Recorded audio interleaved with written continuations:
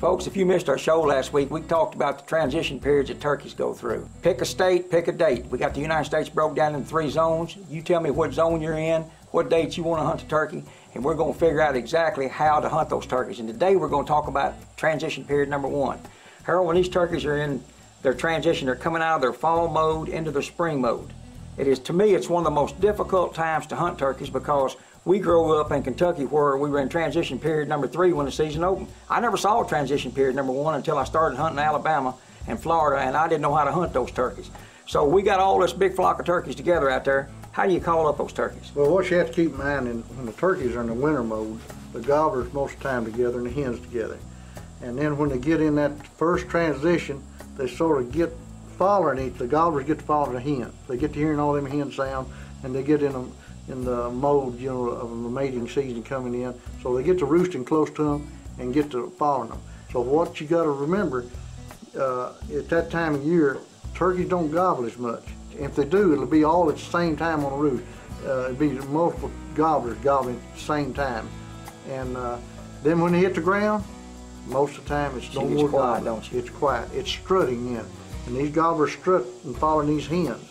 And they'll just wherever the hens go, the gobblers strut and follow them. But one of the things I found out, Harold, in following those turkeys, is occasionally they'll shot gobble.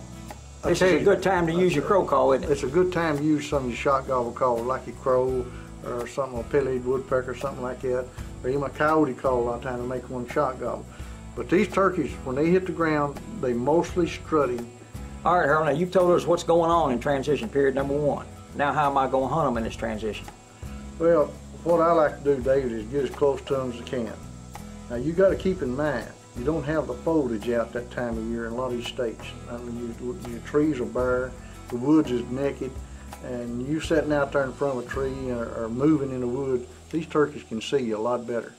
Uh, you know, your uh, the calling, you call softer because a soft call sounds louder out there at that time of year than it does when all the foliage gets out. And what you know, you can call, and a lot of times you need to try to call the hens. You know, try to call these hens up. Get aggressive with them and, and try to call the hens up. But doing a lot of cutting, and a lot of times these hens will come in your direction, and whenever you've got the hen coming your direction to you, the gobbler is going to follow because all he's done is strutting and following that hen. Now, another good way to hunt these turkeys is the states where it allows you to hunt in the afternoon. Put your blind up around some of these fields. These turkeys like to get out in these fields, especially in big flocks. They feel more uh, secure out there with a big flock than usually just one turkey.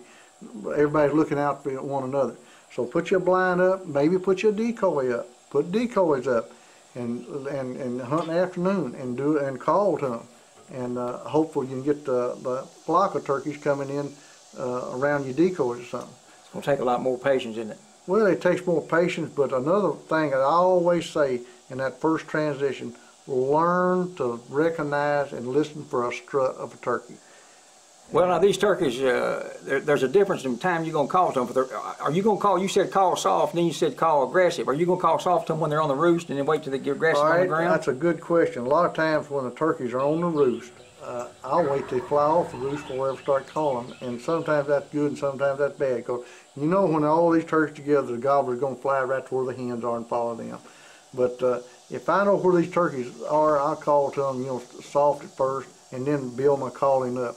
I'll use a lot of different calls. I'll use, you know, several different calls. All right, folks, there you have it. That's transition period one. Join us next week as we talk about transition period number two.